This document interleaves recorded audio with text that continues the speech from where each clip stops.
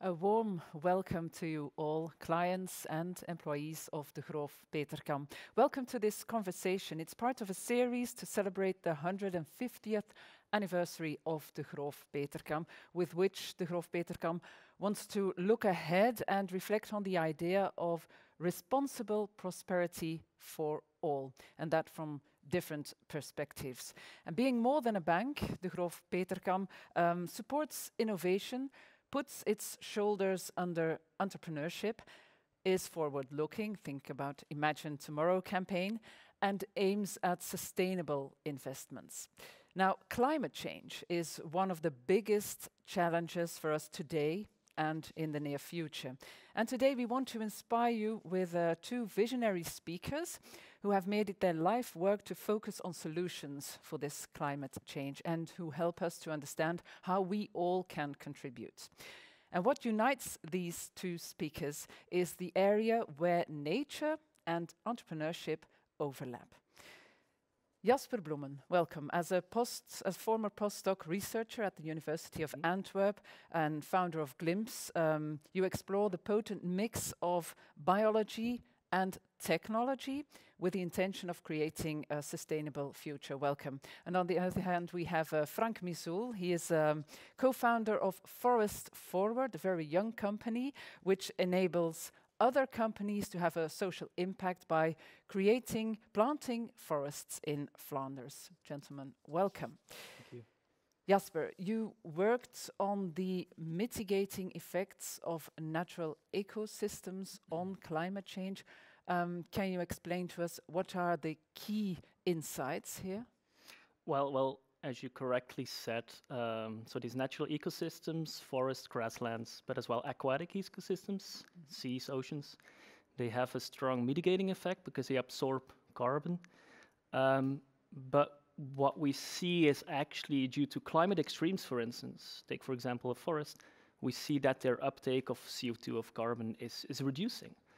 And another important uh, key takeaway is that we see that their uptake, it it can't compensate for the total CO2 emissions that we as as humans that we uh, that we produce. Uh, to give a number, um, every year, around 17 gigatons of CO2 ends up in in the atmosphere, and if we would like to compensate that, for instance, with Fit Forest, then we would need an area of around four times Australia, and we need to plant that to compensate for that. So you see, that's that's not an option, and it will cost us around 140 uh, billion euros. So that means that actually, natural ecosystems is not the only solution. We need to change, and we need to change the economy, and that's actually where the solution is is uh, will be shaped for tackling climate change.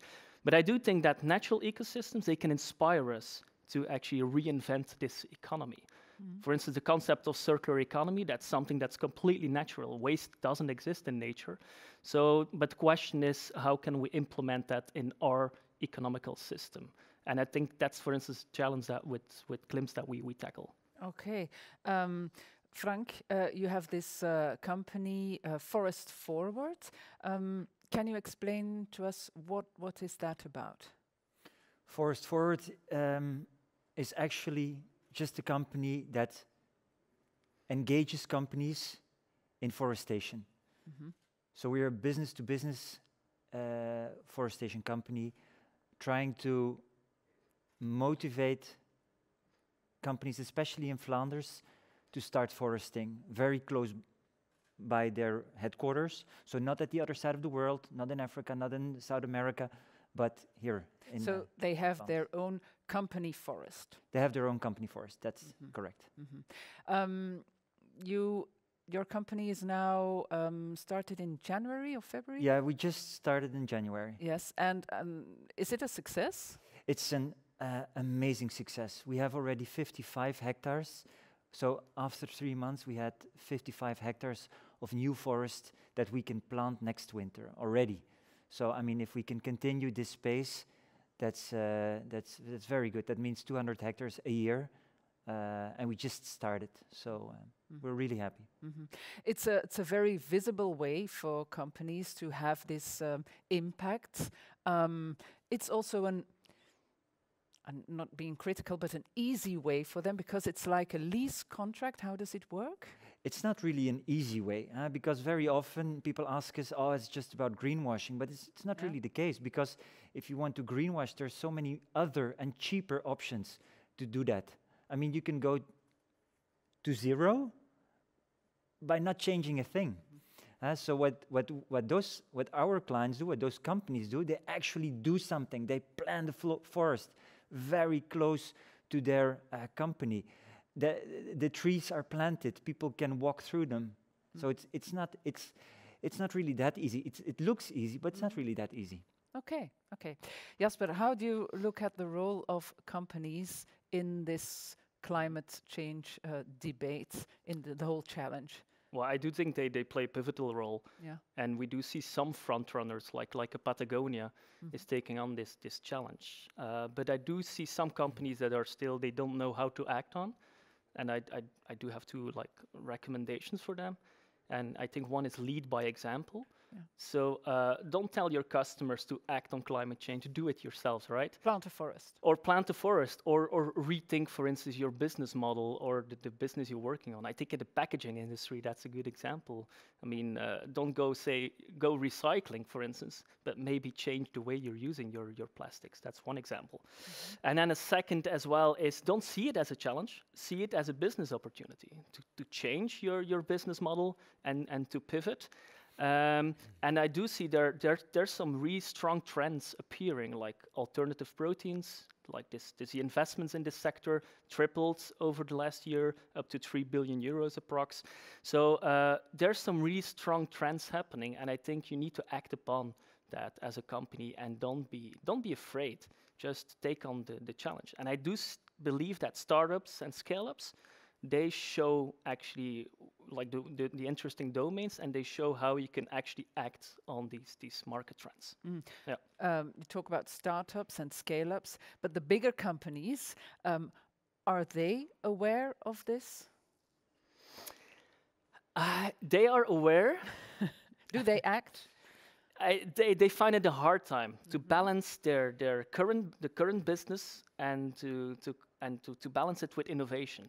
And I do see that in in uh, like especially in big companies, it's because the organizational structure is so heavy that it's so hard to innovate, and you, they need to uh, have an agreement from this department and so on. So it's always there's like always an internal struggle between the innovation department that wants to go fast, and then you have the marketing department that says, but we don't see the market opportunity, right? So it's it's difficult for companies, and and that's why I I do believe that collaborate with these startups, look what they're doing, see what they're doing, and then you will you will find what is innovative, and you will find a way how to innovate. So I the big companies crucial. can learn from the. Absolutely, and and, and vice versa, of course, because they have the experience, the bigger companies. So I do believe that there's this collaboration makes it interesting. That's what with, with Glimps Bio that we're trying to facilitate. Okay, so you facilitate this. Yeah. Do you see it also happening? I, I do I do see it happening, and I do see it, for instance, in biotech companies. Uh, see it happening. A very concrete example um, is is, and that's within our sector where we're working on uh, again this nature-based innovation.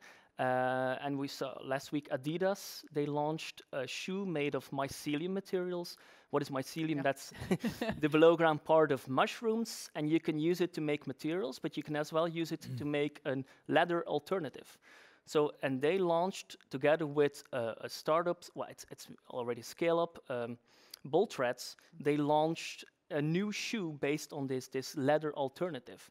And we see within this biotech domain, there's so many trends emerging and happening because biolo- biology, that, that's the domain that will shape the new tech revolution. We're pretty convinced about yes, it's a huge uh, investment for the companies, Yep. but it's the only way forward. I'm not sure if it's the only way forward, but I do think that it's in the easiest way forward. This collaboration, and that's Okay. again, that's something that we see in nature. Again, that's it's not about competition; it's about collaboration. Frank, I talked uh, with Jasper about big companies, small companies. Um, I'm wondering, the forests, is that something that big companies come to you to ask to plant a forest, or are there small companies as well who want to do this? It's a very good question see? because, indeed, I mean, if you um, engage uh, our forest, we are we are leasing forests. Mhm. So we're doing that for a period of 20 years. If, if, if, you, if, you, if you look at the, the cost of those 20 years, it's not for every company. I mean, Mhm. it's not for the local um, grocery uh, entrepreneur um, and so on. So we've been thinking about that because uh, most of the forests that we that we um, plant are unique forests. That means um, you have one forest and you can you can combine it with one company. Mhm. Huh? So we start at 5,000 square meters, but most of the uh, the forests are one hectare and more. Okay. But that's quite an investment, of course, for that company. If you're a big company, you don't feel it. If you're a small company, it might be too big. So, maybe share a forest. indeed, indeed, and it's this is also something that uh, we we are uh, very happy to to communicate about.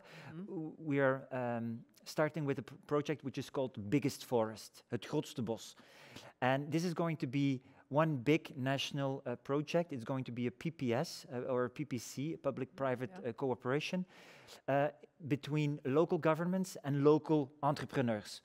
And instead of uh, going uh, for your unique forest, we will offer all those uh, local business owners the possibility to to enroll in a forest uh, where you where you have your own 10,000 uh, sorry where you have your own 1000 square meters Okay. So you instead of one hectare, with a with nine on one hectare you yeah. participate it's a collaboration of 10 entrepreneurs all together Mm. and they get exactly the same all the same services but a lot cheaper of course Mm -hmm. and in that, I mean, in this project, we really see that there is this cooperation, this vibe going on in between local government, local entrepreneurs, and the community as well, because that local entrepreneur can connect and can engage his clients again to, to, to make sure that this forest is planted uh, in the neighborhood. Mhm. Just another question. Where do you find the space? It's, it's, it's the holy grail, in fact. it's true. I mean, uh, the thing is, it's very difficult to find, uh, but on the other hand, it's there. You only need to find it. Uh, and actually, we are looking for land which is not very suitable for agriculture. Uh, so, because we do not want to get in, in, in, in a discussion or in a, in, in, a, in, a, um, in, a, in a fight with the agricultural sector, but there are quite, uh, there's quite some land. It's not always for sale, it's not always on the market, but there's quite some land that is really not good for the uh, production of food. And it's, it's those parcels that we're looking for. And you can convince the farmers to rent. Well, actually, it's already it's it's a piece of land that is that has no return uh, Mhm. today. It's just there. It lays there. So we offer uh, the owner it can can be a farmer, it can be a it can be a company, it can be uh, uh, even an OCMW or a church. Um, we offer them uh, a kind of um, earnings system Yes. on on their land, Yes. which does not provide any income today. Mhm. Uh, do you encounter misconceptions on the project sometimes? Well, the biggest misconception, and uh, this is the this is the theme of tonight, of course, is is the is the link between ecology and and economy and business. Because very often people think when you're doing something ecological or sustainable, or then you must be a non-profit organization. Mhm. Huh? Uh, and and on the same uh, uh, uh, in the same time, it's when you're doing business that must be bad for nature, you know. And this is a mis- this is a big misconception because both can be combined very well. Now, where is the return on investment for the companies? So many uh, arrow ROI. First of all, um, they really. First of all, there is this uh, reputation. Mhm. Uh, uh, They can even return. name the forest. Yes, it, it becomes yeah. their forest with their name. They have this big A uh, billboard. billboard uh, next to the forest. Um, but uh, also, um, yeah, so reputation, the forest is there.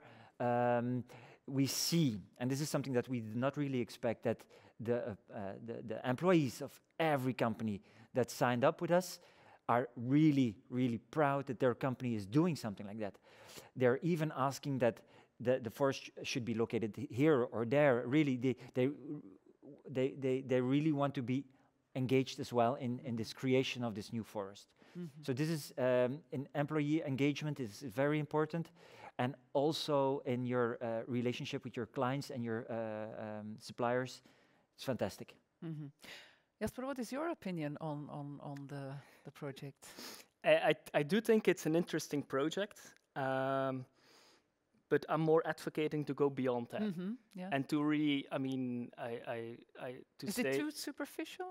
No, it's not superficial. It's a very good initiative. So Yeah? Mm-hmm. it's not, um, and we need every initiative to support it. But I, I'm, I, d- I just want to make sure that companies they don't use it ex- as an excuse to do- change their how the way they operate. Okay. I think that's the crucial part because there, that's where we have the biggest impact. Because a- as said, we can plant a lot of forests, but we need to change the whole economic system. It's not all we have to do. Yeah, and, and, and as well as a as a as a company or startup, we, we as well see that within companies there's a lot of change that still needs to happen. For instance, we have one one big project that we're working on here, like a uh, pioneering project in Belgium, where we want to um, valorize spent coffee grounds, Mhm. and we see that for for changing habits of companies, it's it takes a lot of time and it's very challenging. And especially if you want to connect companies in one circular economy system, one in one one ecosystem, that's a very big challenge. But we're, we're succeeding, and we're having uh, like multinationals in there,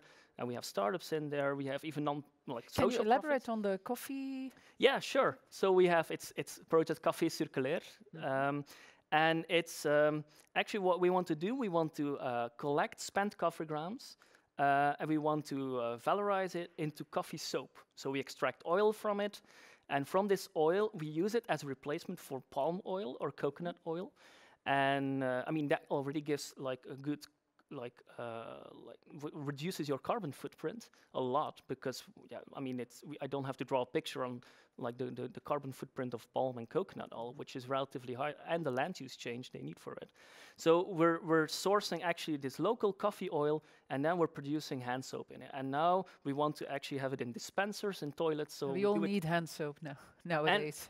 yeah, indeed, indeed. You all need hand soap, and but we want to have a real sustainable alternative. okay. Uh, and but you can even do way more. You can go to 3D printing filament. Mm-hmm. You can go to uh, new materials. So there's a lot of potential in these sort in these waste streams. I don't want to say waste, but as as uh, resources, as as coffee grounds. Mm-hmm. There's so many other examples, for instance. Now, climate change is a, a big topic which uh, sometimes is met with reluctance. Uh, pessimists say we cannot do anything, we're too small, it's out of our hands. How can, can we convince people that they can do something? I think collaboration again is, is key and show that okay you're you're one big uh, part of the whole of the whole change that can happen. Look at the the climate protest, and I do think that companies they do play an important role in that because they have their customers, they have their their supplier, their these relationships, and they can inspire them. Again, lead by example there, and so um, they can actually they can change or make this change happen, and they can uh, they can act way faster than policymakers, for instance, can do. So I think there's a very important role for them to re-inspire their customers and and and use the right branding and be completely as well transparent about the things that you can do at the short term and your ambitions on the long term. But now you're thinking also from the company, but can't we also say that it's the customers who demand the companies Absolutely. to change? Absolutely. I mean, and that's the thing that we now see uh, uh, now with with the, this this new normal, as you say, that indeed there's there's a more an, a demand from customers' perspective to change for companies, and I, as said, they they need to act upon this because we see that other like other companies, startups, smaller ones, which are more dynamic, they act upon that and they take market share. It's So- like, yes, it's like the company who wants to be attractive for the employees. It's the same. It's this- a bit the same. Yes. Mhm. hmm It's Okay.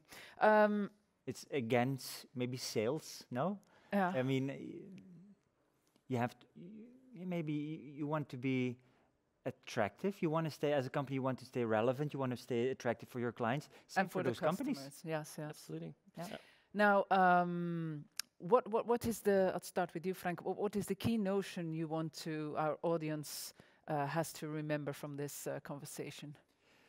Well, honestly, I mean, I don't have big theories, um, but what I do think is very important is that it can, it, like like Jasper said, it's it starts. We are all just a little part of this this whole, uh, so it's very easy to do something on your own. I mean, we are in the forest business. Uh, and as you said, it's very, it's absolutely not enough. We, we always say a forest is the last mile uh, of a company uh, um, and so on. But let's say I was, I, I just took my calculator, my phone, and uh, I looked, uh, so we have 10 million residents here in Belgium. If everybody would plant one tree, just one tree, then we would be able to have the equivalent of about 6,500 hectares of forest.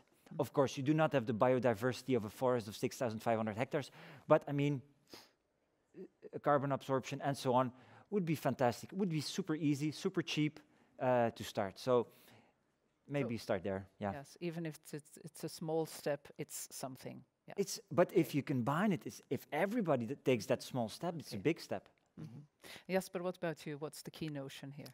Um, I think my my my key takeaway would be, uh, I think, dare to to act upon this mm -hmm. this change, this market change that we see in response uh, to to the climate change, uh, climate challenge, and and just be yeah dare to to take this turn in your your business because there's a lot of market opportunities that that, that will will happen, and especially now with the new Green Deal in Europe, we'll see a, like a very big change uh, will be possible and will be potentially financed uh, for instance, by the European Union. Mm -hmm. So, mm-hmm. yeah.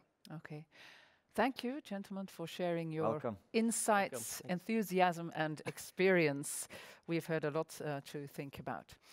And I also thank you, viewers, listeners, for uh, joining us. Hope to see you soon. Bye.